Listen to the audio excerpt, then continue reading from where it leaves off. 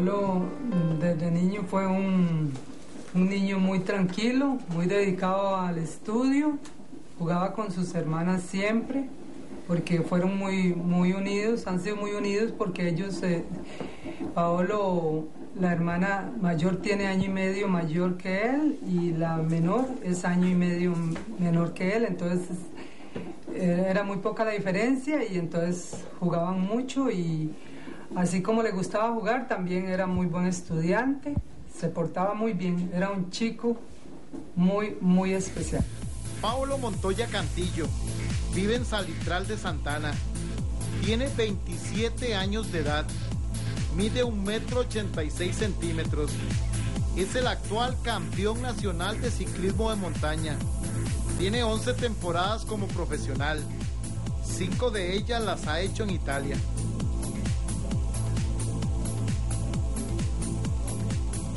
Estas montañas de Salitral las conoce muy bien.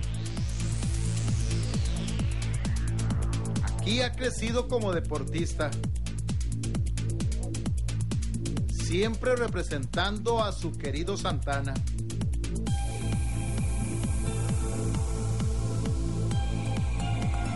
Paolo también es hogareño, amante de su familia. Siempre bajo la guía de su padre, Rodrigo Montoya, su entrenador. Paolo nació en el ciclismo conmigo, ahí atrás siempre yendo a las carreras, acompañándome y ahí fue donde nació para él esta fiebre también, que es una belleza el, tenerle un amor tan grande al ciclismo. Eh, pasó tres días en, en, un hospital en incubadora por un problema que él, tenía y después de ahí tuvo un tiempo que hubo que ponerle unos, unos aparatos para los pies para, para enderezarle porque tenía los pies bastante torcidos y, siempre fue muy fogoso. La vida de él fue jugar, comer y dormir.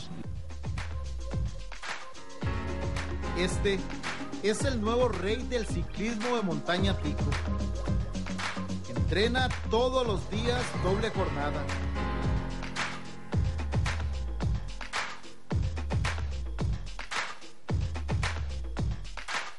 Con, mis, primos, eh, pues compartía bastante, jugábamos y yo estaba ahí donde pues mi madrina es una de mis tías y, estábamos jugando ahí en, un puente, en, lo que llamamos una quebrada cerca de la casa de, de ella y, no me acuerdo muy bien, pero cuando me acuerdo era que yo estaba ya casi ahí en el agua, me había golpeado la nariz y todo en, una piedra y me acuerdo que fue un golpe bastante fuerte y me había fracturado, he tenido una pequeña fractura y y yo estaba muy asustado porque estaba muy pequeño y seguramente porque no había obedecido órdenes y, no quería que le contaran a mis papás.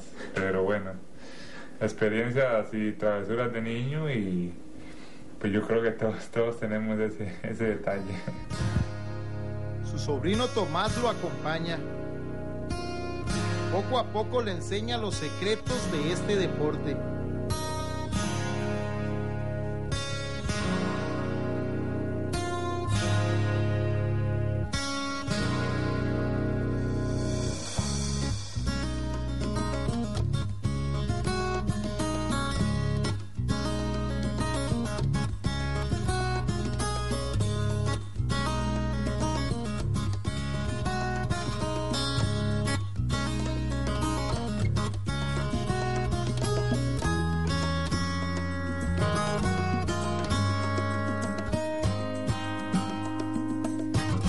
Cuando mi tío viene a andar en bici, como a mí a veces me toca por la tarde, él agarra tiempo un ratito para llevarme a andar en bici por el barrio.